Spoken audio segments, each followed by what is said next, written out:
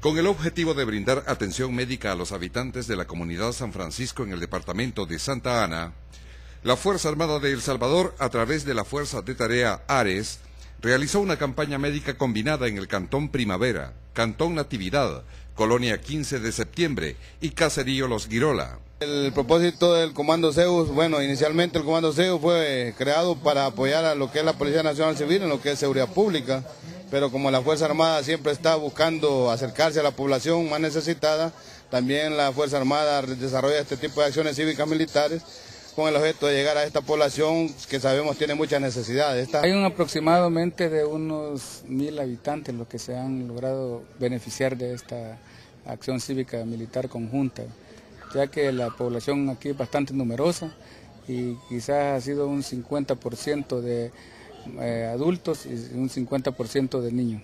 Las personas recibieron atención médica en oftalmología, odontología, medicina general, ginecología, psicología y pediatría, así como masajes quiroprácticos. Es un apoyo interesante, agradecerle a la Fuerza Armada, agradecerle al Comando Ares que hace esto a la Segunda Brigada de Infantería y a toda la gente que hace posible esto. Esto es importante.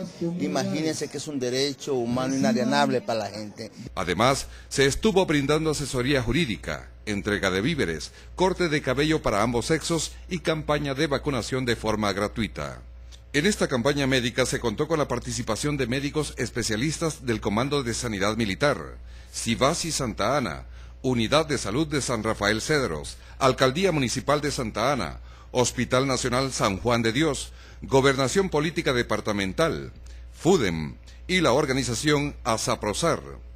Posteriormente los niños disfrutaron de una sana diversión con los payasos, quiebra de piñatas, refrigerio y entrega de juguetes. Le agradecemos mucho porque han venido a darles entretenimiento a los niños y a las madres también ayudarles con vitaminas y a las demás personas también, también de la edad mayor que les cuesta movilizarse para la clínica o para algún lugar, aquí han sido atendidas. Así que les agradecemos mucho. Los ha ahorrado mucho, pues sí, ir a la clínica, ya que los ha llegado aquí a la casa, hay que aprovechar. Excelente. Para nosotros ha sido un gusto, un gran placer de que los hayan venido a hacer esto. Los sentíamos bien felices desde ayer por tener esto. Nunca, nunca había habido algo así. Está pero bien bonito. A través de este tipo de acciones cívico-militares, la Fuerza Armada de El Salvador muestra a la población salvadoreña que es una institución que brinda todo su apoyo en ayuda humanitaria en caso de desastres naturales, así como el apoyo incondicional que ésta ofrece, mostrando siempre el interés por la ciudadanía y el espíritu servicial que la caracteriza.